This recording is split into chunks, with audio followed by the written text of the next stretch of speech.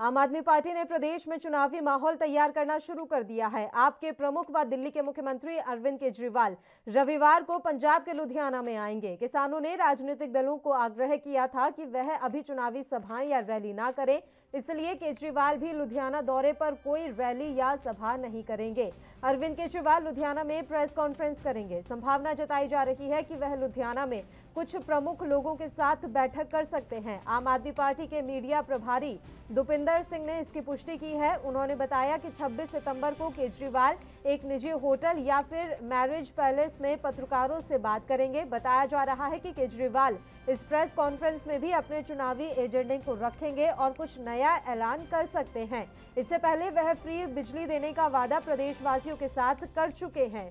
विधानसभा चुनाव 2022 में आम आदमी पार्टी की महिला विंग की अहम भूमिका रहेगी।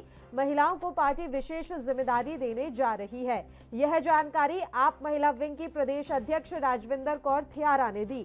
थियारा इन दिनों महिला विंग को मज़बूत बनाने में जुटी हुई है। इस बीच दिल्ली के मुख्यमंत्री अरविंद केजरीवाल लुधियाना के दौरे पर पहुँचने वाले हैं। रविवार को वे लुधियाना के दौरे पर रहेंगे और जानकारी मिल रही है कि इस बीच वो कोई रैली या फिर जनसभा नहीं करेंगे, बल्कि एक प्रेस कॉन्फ्रेंस वो आयोजित कर सकते हैं।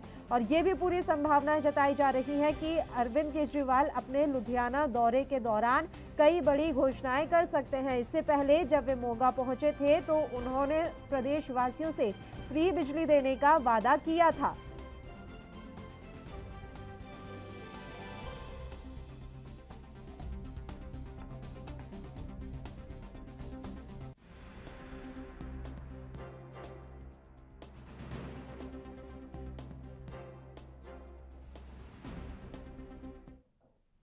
और चलिए अब इस मसले पर भी चर्चा की शुरुआत कर लेते हैं। दो मेहमान इस समय हमारे साथ जुड़े हुए हैं। भारतीय जनता पार्टी के प्रवक्ता अश्विनी शाही जी लगातार हमारे साथ बने हुए हैं। उनके अलावा वैभव जायसवाल जी इस समय हमारे साथ जुड़ गए हैं, जो कि आम आदमी पार्टी के प्रवक्ता हैं। दोनों ही मेहमानों का स्वागत है एएनबी न्यूज़ पर। और बड़ी बात यह है कि आप दोनों की ही पार्टियाँ जो है, अभी पंजाब की सत्ता से काफ़ी दूर हैं। वैसे में वैभव जायसवाल जी, अरविंद केजरीवाल आ रहे हैं कल लुधियाना। क्या कुछ उम्मीद की जाए? किस तरह की घोषणाएँ उनके द्वारा की जा सकती हैं? और कितना मज़बूत इस समय आप अपनी पार्टी को पंजाब में देख रहे हैं? वैभव जी। देखिए हम सब जानते हैं कि पंजाब के अंदर कांग्रेस किस तरीके से अपनी अंदरूनी माफ़ करेगा इको रहा मेरा आवाज़। ठीक करवा लेते वैभव जी अंदरूनी लड़ाई की वजह से खत्म हो चुकी है और देश में भी इस समय कांग्रेस की जो स्थिति है वो सबके सामने है। लेकिन जो आम आदमी पार्टी की स्थिति आज उत्तर प्रदेश, पंजाब, गोवा, इन तमाम राज्यों में, उत्तराखंड में बन रही है, उसका उसका एक मात्र जो कारण है वो दिल्ली मॉडल है। आपने देखा कि दिल्ली के अंदर किस तरीके से अरविंद केजरीवाल जी ने और उनकी सरकार ने लोगों के हित के लिए, लोगों की जन समस्याएँ जो थी, जन मुद्दे जो थे उस पर काम किया। और आज पंजाब के लोग भी उन समस्याओं से जूझ रहे हैं। आज पंजाब के लोग भी चाहते हैं कि अरविंद केजरीवाल जी का दिल्ली मॉडल पंजाब में भी लागू हो। और हमें समर्थन पंजाब के लोगों का ही मिल रहा है। हम जो है, इस वर्ष उस मज़बूत स्थिति में है कि पंजाब के अंदर जो आज परिस्थिति बनी हुई है, उसमें हम आपसे एकदम इस बात से अस्वस्थ होकर कह रहे हैं कि हमारे जो गठबंधन जनता के साथ इस बार हुआ है, हम सरकार बनाने जा रहे हैं और पंजाब की जो लोगों की जो मनता है, जो आकांक्षाएँ हमसे, दिल्ली मॉडल को लेकर, वो हम दिल्ली मॉडल पंजाब के लोगों को भी देने का कार्य करेंगे। चाहे वो बिजली का मामला हो तीसरी बिजली आपने देखा कैसे अरविंद केजरीवाल जी ने खुद कहा कि हमारी सरकार बनते ही तीन सौ बिजली फ्री दी जाएगी। यहाँ तक कि जो बकाया बिल है, वो माफ़ किए जाएँगे। चौबीस घंटे बिजली की बात है। आने वाले समय में अरविंद जी एक बहुत बड़ी घोषणा करने जा रहे हैं पंजाब के लोगों के लिए और वो आपको जल्द मालूम हो जाएगा। और हम समय जैसे जैसे चुनाव के आएँगे हमारा पंजाब को लेके जो एक विजन है वो समय समय पे आपको अरविंद जी द्वारा और हमारे मैनिफेस्टो द्वारा ज़रूर दिया जाएगा। और इस बार पंजाब के लोगों ने पूरा मन बना लिया क्योंकि उत्तर प्रदेश हो चाहे पूरा देश हो इस वक्त भारतीय जनता पार्टी और कांग्रेस की जो नूरा कुश्ती हर राज्यों में और देश में चलती थी कि एक बार तुम शासन करो, एक बार हम शासन करें, इस नीति को जो है, एक ही सिक्के के दो पहलू हैं ये दोनों पार्टियाँ, इसको अब जनता भली भांति समझ चुकी है। और जनता एक मज़बूत विकल्प की तलाश कर रही थी, जो उसका विकल्प अब जो है आदमी पार्टी पे जाके खत्म होता हुआ पंजाब की जनता ने महसूस किया कि खत्म हो रहा है हमारा जो विकल्प हमें चाहिए था वो हमें मिल गया जी ठीक है ठीक है। अश्विनी शाही जी मैं आपका रुख कर लेती हूँ। सबसे बड़ी बात यह है सर कि इस बार क्या पंजाब के चुनावों में भारतीय भारतीय जनता पार्टी कहीं है? आपको अपना कुछ जनाधार नज़र आ रहा है? क्योंकि शिरोमणि अकाली दल तो आपसे छिटक कर अलग चली गई है। वो अपने अलग ही चुनाव प्रचार में समय लगे हुए हैं। और यहाँ अरविंद केजरीवाल की आम आदमी पार्टी अपनी मज़बूत दावेदारी ठोक रही है। भारतीय जनता पार्टी कहाँ है? देखिए पल्लवी जी भारतीय जनता पार्टी शुरू से अपने सहयोगी दल के साथ पंजाब में रही हम्म। और आज इन्हीं कारणों से वो लोग हमारे साथ ही हैं तो भारतीय जनता पार्टी पार्टी होने के नाते चुनाव के पहले हो सकता है कि कुछ नए साथी जुड़े और नहीं जुड़ेंगे तो भारतीय जनता पार्टी अपने बलबूते पर वहाँ चुनाव लड़ेगी हम्म। वहाँ बहुत मुद्दे हैं हमारे पास चुनाव लड़ने के वहाँ पर जो है अपनी मजबूती दिखाने के और हम ज़रूर दिखाएँगे। रही बात दूसरे दलों की जिसमें आम आदमी पार्टी प्रमुख है हमारे साथी ने जो है अभी कहा कि अब दिल्ली में हमने ये किया दिल्ली का वो है हम वहाँ भी करेंगे। दिल्ली मॉडल? दिल्ली मॉडल? उसको ही कहें दिल्ली मॉडल। तो देखिए देश में आत्मनिर्भरता बढ़ाने की तरफ़ अगर एक तरफ़ से एक मज़बूत प्रधानमंत्री के द्वारा किया जा रहा है आज उस प्रधानमंत्री का देखिए इस तरीके से व्हाइट हाउस इस्तेमाल कर रहा है आज पूरे विश्व की नज़र है चाइना भी नज़र बनाकर रखे हुए उस प्रधानमंत्री पर कि ये कूटनीति अगली क्या होगी।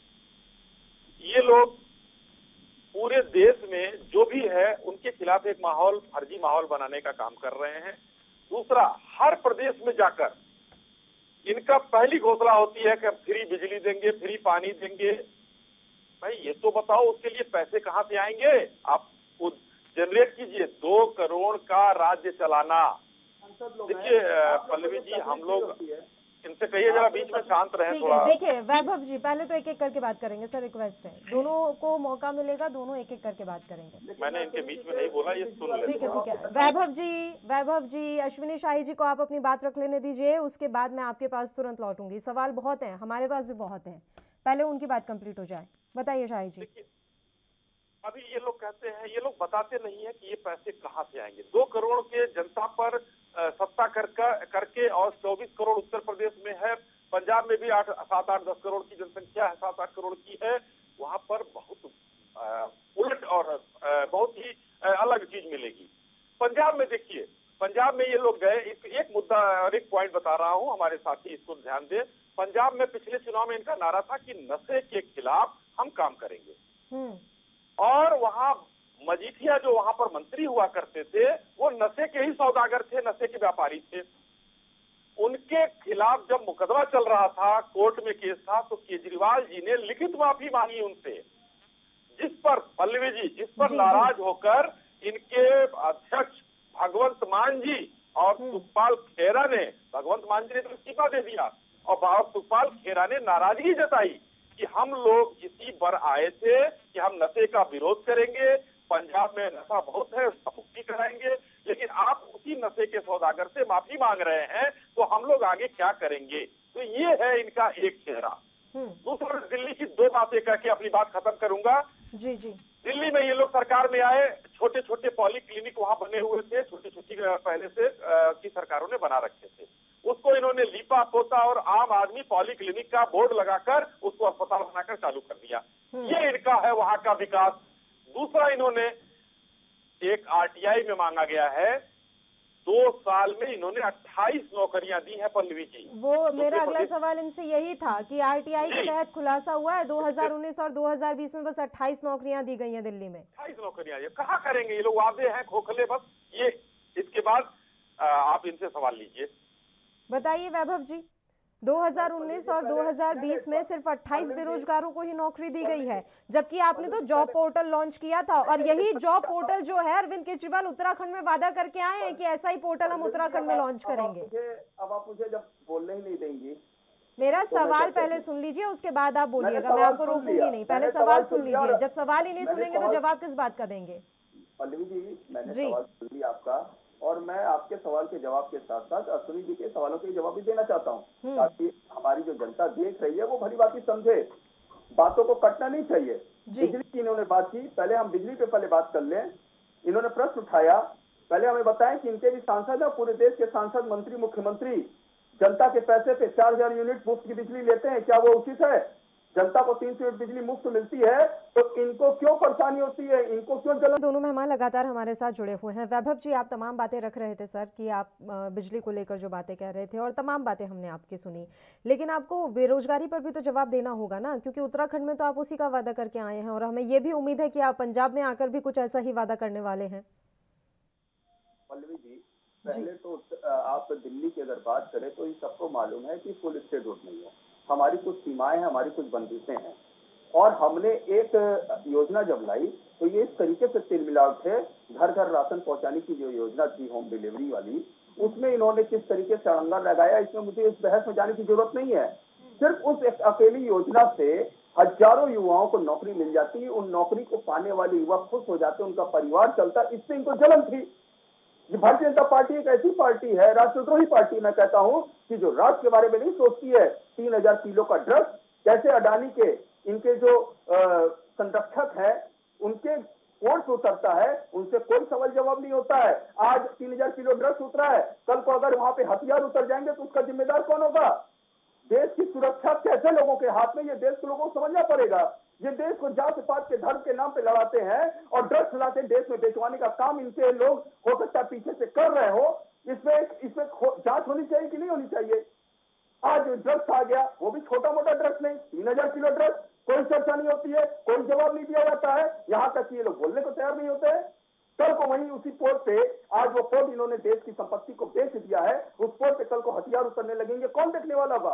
आज तीन हज़ार किलो के पीछे कितना ड्रग्स आया होगा ये इसका जवाब कौन देगा तो देश में नशे कौन है, ये जनता को मालूम होना चाहिए।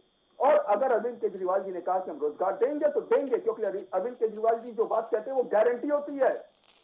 और उत्तर प्रदेश हो, उत्तराखंड हो, गोवा हो, चाहे पंजाब हो आपको मैं बता दूँ कि अगर हमने जो वादा किया वो संकल्प पत्र हमारे लिए जीता समान होता है। हमने वादा किया तो उसकी पूरी रूपरेखा हम बना के चलते हैं कि हमें कैसे करना है। अगर हम सत्तर वादे करते हैं तो हम इकहत्तर पूरे करते हैं कम नहीं करते हैं। इनकी तरह जुमलेबाजी नहीं करते कि पंद्रह लाख नौकरियाँ दे देंगे और आज उत्तर प्रदेश के अंदर देख लीजिए डबल इंजन की सरकार चल रही है इनकी। जिस तरीके से बेरोजगार रोज लाठी खाता है लहूलुहान होता है ये मुझे बताने की ज़रूरत नहीं है। लखनऊ के अंदर आप किसी को भी भेज कर देख सकते हैं कि इको गार्डन में आज भी धरना चल रहा है। कैसे शिक्षा मित्र जिनसे इन्होंने वादा किया था महिला शिक्षा मित्र शर्म आनी चाहिए इन लोग को कि एक सुहागिन महिला शिक्षा मित्र अपना सिर मुड़वा लेती है। इनके राज्य में ये चल रहा है डबल इंजन की यही सरकार इनकी चलाने आती है। यही इन, इन, इनकी योजना है यही इनकी सरकार की पूरी रूपरेखा है।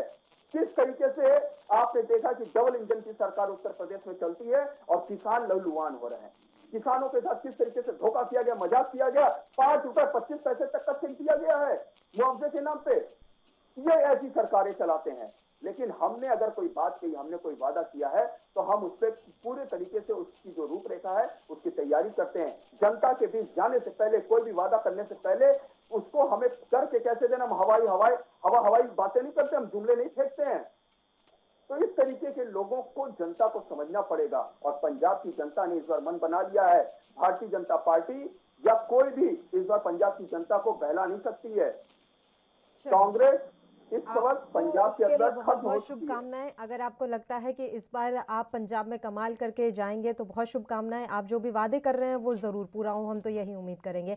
अश्विनी शाही जी एक इल्ज़ाम दो इल्ज़ाम दरअसल दो इल्ज़ाम। पहला तो ये कि दिल्ली में आप उन्हें पूरी सरकार नहीं चलाने दे रहे आप बीच बीच में कुछ ना कुछ करते ही रहते हैं उनके साथ इस वजह से वो परेशान हैं। और दूसरी सबसे बड़ा उन्होंने इल्ज़ाम लगा दिया कि घर घर राशन योजना में आपने इतना अड़ंगा अटकाया अगर आप अड़ंगा नहीं अटकाते तो हज़ारों युवाओं को नौकरी मिल जाती शाही जी यानी कि दिल्ली का जो युवा बेरोजगार है उसकी ज़िम्मेदारी आपकी? देखिए ये केजरीवाल जी की सरकार है और हमारे मित्र केजरीवाल जी। केजरीवाल जी के प्रवक्ता हैं। तो ये रखेंगे। इन्होंने बहुत सिलसिलेवार और पॉइंटेड सवाल रखा है। मैं पॉइंटेड जवाब बहुत धैर्य से मैंने इनका सुना है और मैंने पॉइंटेड जवाब देना है। हम्म। बेरोजगारी की बात शुरू करते हैं। देखिए अभी आपने भी मैंने भी एक सवाल उठाया कि 28 नौकरियाँ दो साल में अगर इन्होंने दिया है तो घर घर राशन अगर इन्होंने ये पहुंचाते तो कितना रोज़गार दे देते ये? लेकिन हमने उसमें कहीं अड़ंगा नहीं लगाया था। हमने तो कुछ सवाल किए थे और बाकी उसको मुद्दा इन्होंने बनाया था। दूसरा इन्होंने अभी जवाब दिया हवा हवाई बातें हम नहीं करते हैं हम सीधी बात बहुत अच्छी बात है। पल्लवी जी आपको भी याद होगा जब केजरीवाल जी मुख्यमंत्री बने थे तो उन्होंने वादा किया था हम्म, हम घर नहीं लेंगे ले लिया सरकारी। हम गाड़ी नहीं लेंगे सरकारी गाड़ी ले लिया। सुरक्षा नहीं लेंगे हम ले हम्म। लिए। इन्होंने कहा कि भारत में मुख्यमंत्री प्रधानमंत्री एमपी एमएलए फ्री बिजली लेते हैं जी। हम फ्री बिजली दे रहे हैं। इन्होंने क्यों नहीं एक उदाहरण पेश किया कि अगर मैं कह रहा हूँ कि मैं फ्री का नहीं कुछ लूँगा ना सुरक्षा लूँगा ना घर लूँगा ना अपनी गाड़ी से मैं बैगन से चलता था तो उसी चलूँगा। तो चलते तो एक मॉडल पेश करते उदाहरण पेश करते वो उन्होंने नहीं किया। तो यहाँ पर इनका ये दावा झूठा हो गया कि हवा हवाई बातें करते दूसरा बीजेपी राष्ट्रद्रोही पार्टी है।